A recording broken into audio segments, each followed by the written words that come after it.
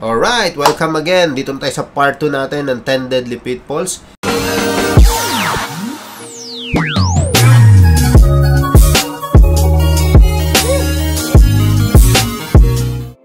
Number 6 na tayo, which is yung poor self-image. Ito yung mga dapat mong iwasan again. Ulitin ko ha, dapat iwasan. Huwag ito yung gagawin kasi baka mamaya pag may umaten dito, sabihin ito yung mga tinuro ni apply na dapat kong gawin eh. Poor self-image, avoid mo ito. Ano yung mga poor self-image? Ito yung streetwear. Naka-short, diba? naka-chinelas, naka-t-shirt, lalo na may mga kasama kang prospect, invites, etc. Lalo na kung nasa office ka, di ba? Kailangan dito medyo casual ka, naka-business casual, smart casual, hindi naman ano mga business informal or black tie. So, sample lang itong mga pinapakita ko sa iyo. Pero as much as possible, dahil we are doing the business, image is everything. So, first impression, last. So, kailangan pag unang kita pa lang sa iyo at mukha ka ng negosyante, kasi negosyo yung offer mo. So, dapat negosyante ang itsura mo. So, same din sa Facebook natin. Kung nag-online marketing ka, kailangan yung Facebook mo, sa profile picture pa lang, yung itsura mo, decente na, negosyante na. Huwag mo nang pakita ng mga cleavage, ganyan, or naka two-piece, or wag ka na mag-post sa mga negative, kasi poor self-image din yan eh.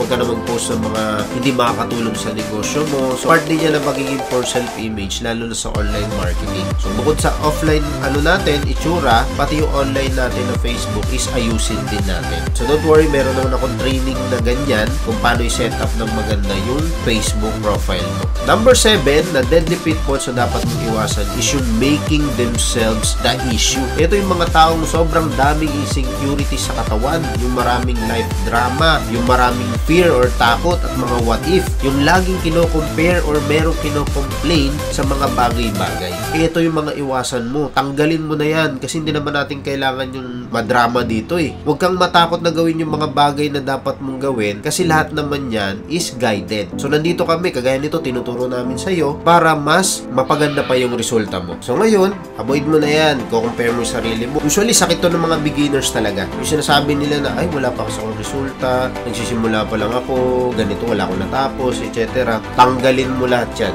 Pag ganyan lagi nangyari sa'yo, makakalimutan mo nang gawin yung mga bagay na dapat mong gawin. Hindi ka na makakapag-invite, hindi ka na makakapag-refer, kasi lagi mo lang iniisip yung mga insecurities and life drama mo. So, naiintindihan ba? ha? Ito yung mga dapat mong iwasan. Kasi nga, when it comes to the pelikula. Lagi sinasabi, di ba, ng director, lights, camera, action. Wala ka narinig na director na sinabi, lights, camera, drama. Walang ganun.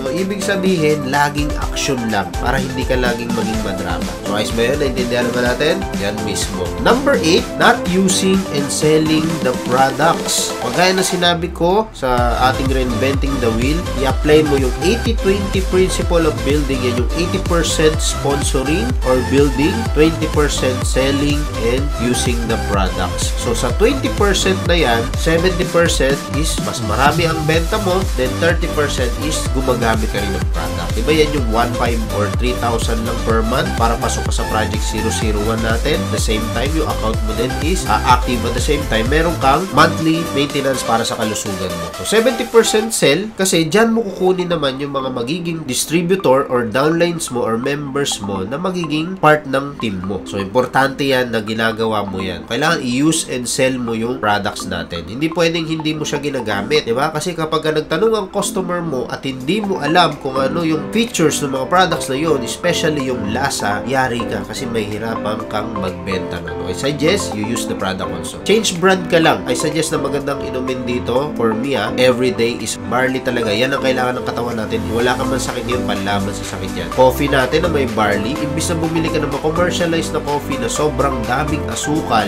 na nagkakos ng mga diabetes, magkape ka na lang ni Yorme. So, yan pinakamaganda. So, use mo lang yung mga product natin para madali ka makapag-sell. Okay? Number 9, taking rejection personally. Ito yung katotohanan. This is a rejection business. Meaning, it's normal. I give you an example, yung Jollibee, McDo, or 7-Eleven or Coffee Bean. Kung titingnan mo, hindi naman lahat ng tao nagja-Jollibee. At hindi rin lahat ng tao nagmamakdo. At hindi rin lahat ng tao nagsa 7-Eleven at Coffee Bean. Di ba madalas iba Starbucks, iba mini stop. In short, sa negosyong ginagawa natin, hindi naman talaga lahat sasali. Konti lang ang sasali. At yung konti na mayroong sasali sa'yo, may konti ding maniniwala sa kanila at yung konti na yon meron ding maniniwala na konti. Pero pag pinagsama-sama mo yung konti na yon, madami na yon. So nakikita mo yung picture at hindi rin ibig sabihin na yung mga tao na kumakain sa Jollibee ay hindi rin kakain sa McDo. So ibig sabihin sa ginagawa nating negosyo, hindi ibig sabihin na hindi yan sasali. Sasali din yan pero hindi pa ngayon. Kaya wag mo silang aawayin. Wag mong masyadong personal yung rejection sa'yo. It's normal. Kaibiganin mo pa rin yan kasi darating yung time, maybe one year or three years from now, sumali din yan. Kaya kailangan, hindi ka pwedeng mag-quit din dito sa negosyo natin. Kailangan maging consistent ka at nakikita nila na active ka dito sa ginagawa nating business. Kasi kapag ikaw nag-quit at tumigil, posible na yung mga tao na yon na dati mong na-invite is sumali sa iba. Kasi bakit? Hindi ka na active, nag-quit ka na. So kaya I suggest na tuloy mo lang, wag mo silang awayin.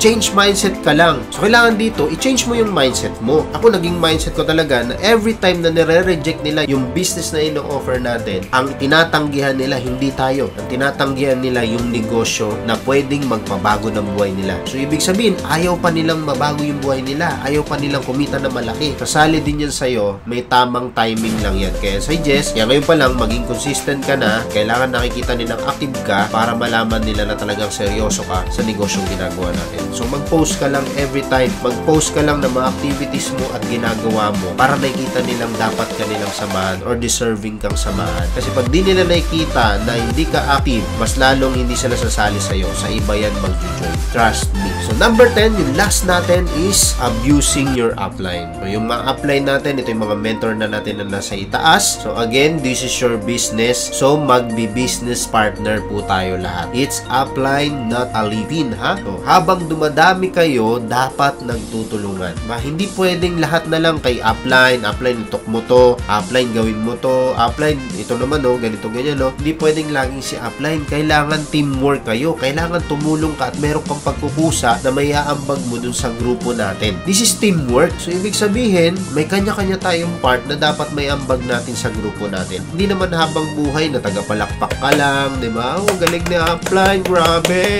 Hindi naman laging ganun, di ba? Dapat dumating yung time na ikaw naman yung tumatayo at nag-share ng mga knowledge na meron ka. Ikaw naman yung nagtuturo sa mga members mo at mga downline mo, di ba? Sa YouTube Big Dreams, dapat nagtiteach, di ba? Kailangan lang is magkaroon tayo ng kusa or initiative na gawin yung mga bagay na yon para hindi natin na-abuse si upline. Kasi ang upline mo, isa lang yan. Pag ang upline mo napagod dyan, sino na yung lalapitan mo? Magtulungan lang tayo kasi darating yung time na itong mga ginagawa natin is makakatulong din sa pag-grow ng sarili mong team. So, excited ako na makita yung future na yon and darating yung time na ikikwento mo na lang itong mga natutunan mo sa mga downlines mo. So, ngayon, natapos na natin yung 10 Deadly Pitfalls and congratulations and I hope na wag na wag mong kakalimutan yung mga tinuro ko sa iyo dito. Uulitin ko, ito yung mga dapat mong iwasan. Okay? Thank you sa time ninyo and God bless. Hope marami kayong natutunan and and may apply nyo po lahat ng natutunan nyo ngayon. Congratulations at kalahati na lang. Matatapos ka na. So ngayon, huwag mo kakalimutan i-like yung page natin para maging updated ka sa mga next natin ng mga trainings and events. And I would like to invite you sa step 5 natin. Ito yung training na how to become a mover. So ito na, pag-uusapan naman natin kung ano yung dapat mong gawin kapag